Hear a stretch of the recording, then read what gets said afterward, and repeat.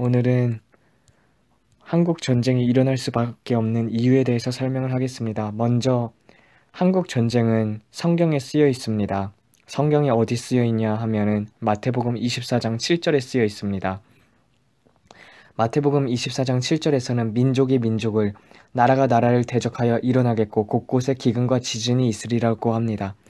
근데 이것을 그리스어 원어로 보게 되면은 ἐγερθήσεται γὰρ ἔθνος ἐπὶ ἔθνος καὶ βασιλεία ἐπὶ βασιλείαν이라고 되어 있습니다. 여기서 보면은 이제 nation 나라라는 뜻이 이제 ἔθνος인데 이것이 단수입니다.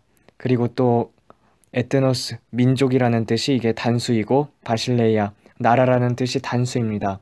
즉 분단 국가이면서 그리고 같은 민족인 우리나라밖에 없습니다. 지금 북한하고 우리나라만 남아있는 상태이죠. 그렇기에 한국 전쟁이 곧 재난의 징조의 시작이라고 볼 수가 있습니다.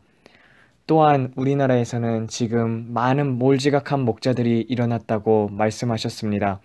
주님께서 말씀하시길 이 땅에서 정말 심판이 있어야지 회개가 일어난다고 말씀하셨기 때문에 이 땅에 곧 심판이 임합니다. 너무나도 음란한 세력들이 많고 그리고 하나님께서 사랑하시는 나라이기에 하나님께서 전쟁을 예정해 두셨으며 그리고 이 전쟁을 통하여 많은 영혼들이 정말 중요한 것이 무엇인가를 전쟁을 치른 후에 깨닫고 하나님 앞에 돌아올 것입니다.